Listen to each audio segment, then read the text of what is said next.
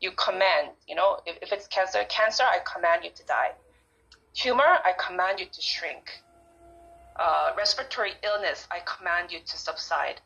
I command new cells to be forged. You know, like we command the body. We speak to the illness.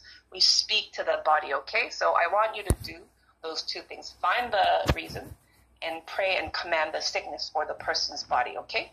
Or their soul, even. Let's do that. Uh, you can mute or unmute as you see fit. I won't prescribe.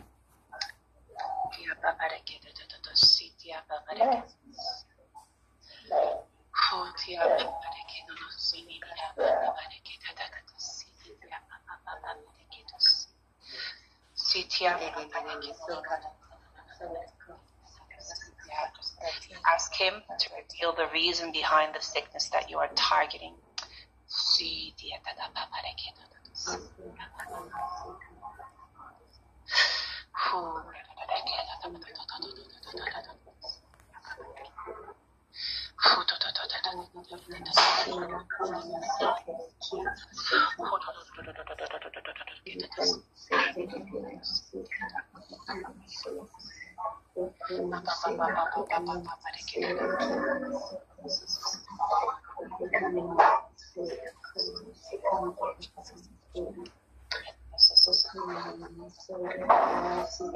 disease, I command you to leave. I Command you to leave that person's body. Speak to you, disease. Cannot, cannot thrive there. I speak death over you, disease.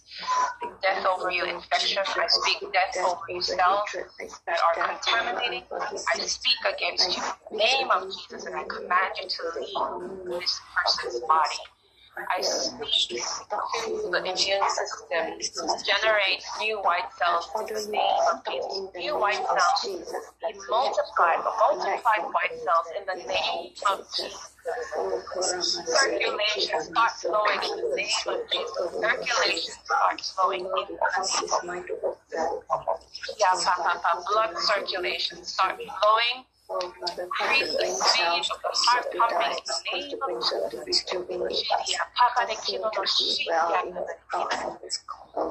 da da destiny unleashed and unlocked in the name of Jesus. Move forward and accept the destiny of God as a calling of God that He has put upon your life.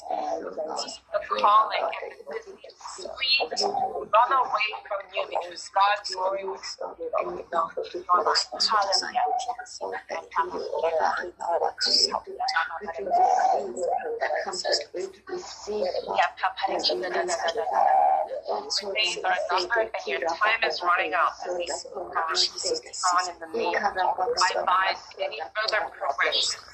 I bind further progression and I command a regression. I command a moving out. I command that you are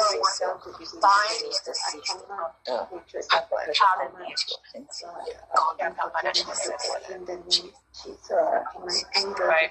We're going to pray now. We're going to pray and we're going to speak into the spiritual atmosphere of your life. Speak into the spiritual atmosphere in your homes, in your workplaces, even the nation of Singapore. We're going to speak into the spiritual atmosphere and we're going to de- demobilize the spirits of fear and death. Okay? They will no longer have the upper hand in this nation of Singapore, in your life, in your loved ones' lives, because it has spread so thickly over this nation, okay? So I just want you to proclaim, and you can unmute your mics for this. This is not intercessory prayer, but we're going to proclaim and shout into the atmosphere where, O death, is your victory? Where, O death, is your is your sting?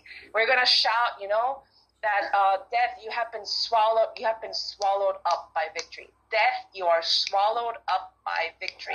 And we're gonna proclaim other scriptures or anything that comes, you know, forth from your spirit that lives in you. Okay, we're just gonna declare victory over death, and we're gonna break the atmosphere of death over people's lives. Okay, let's go.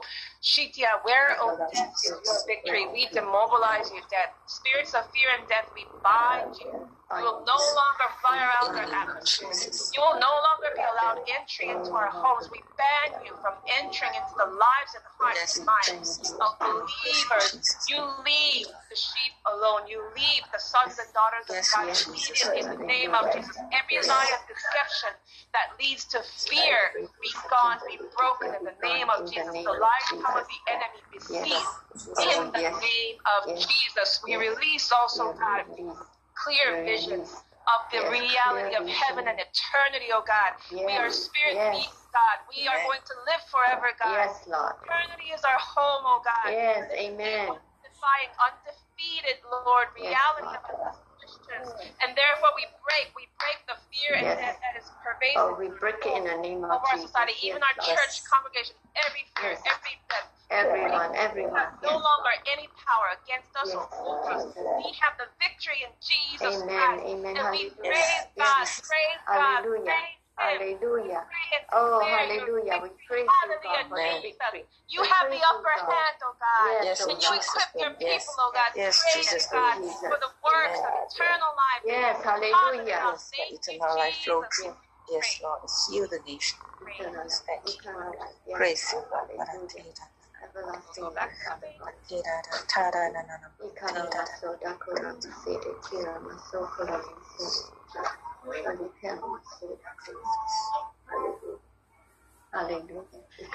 Go life.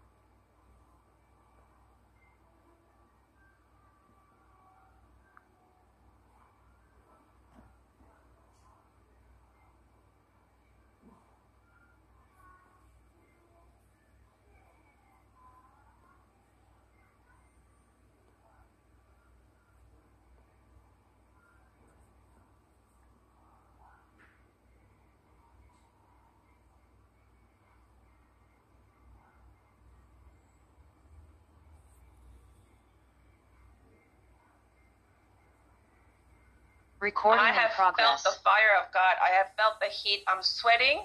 I'm not a sweaty person. My husband is, but I'm sweating.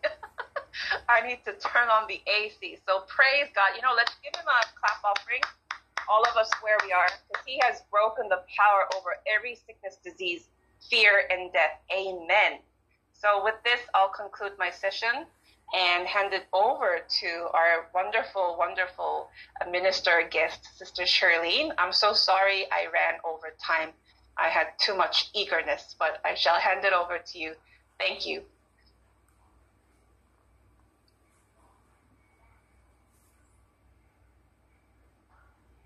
Hi, good morning. Uh, I'm actually very honored uh, to be invited uh, to be one of the uh, speaker or trainer, whatever you say, um, in this uh, prayer workshop.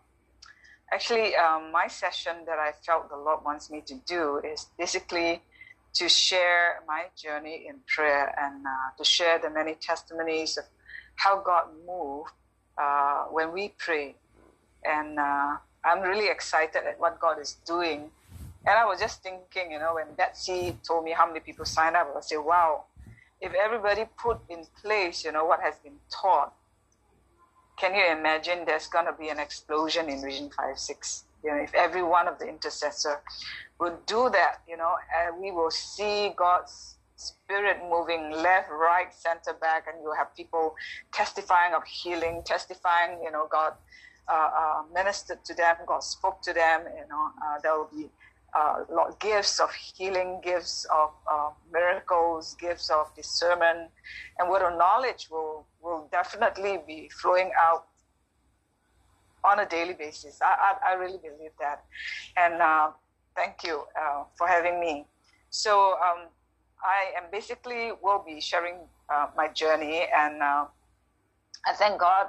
Before I start, I want to thank my husband for helping me with the notes because I have all the thoughts in my head, but I need to condense it. My, my thoughts were running all over the place, and I, and I thank God that He helped me uh, uh, to organize the, my thoughts in simple terms. All right, uh, to start off, uh, I want to share. You know, Jesus has a very classic examples uh, he shares about how to pray when his disciple asked him. And it is actually found in the book of Matthew, chapter 6, verse 9 to 13. It says, Our Father in heaven, hallowed be your name. Your kingdom come, your will be done on earth as it is in heaven. Give us this day our daily bread. And forgive us our debts, and we forgive our debtors. And do not lead us into temptation, but deliver us from the evil one. Of course, before we actually pray, we have to qualify ourselves that, you know, we need to worship the Lord, you know, we need to uh, exalt Him for who He is in His kingdom. And uh, uh I will skip the, your kingdom come. I'm going to like give us our daily bread, you know, which is normally what we ask, you know, Lord, I need this, I need that. Father, is it possible? I know there are many times where I've prayed for my needs. I said, God, is it possible for this to happen? Within a, a week or two, you know, it, it actually happened. And I, you know, and then we, we have that forgive our debts as we forgive our debtors. And this is a very important uh, aspect of our life of forgiveness. If you don't forgive, God can forgive us, you know. And forgiveness block us, you know, uh, uh, from entering, okay, into the Holy of Holies. All right, our sin, because unforgiveness is sin. All right, and these are all very important factors in our as a prayer Uh, uh, in a prayer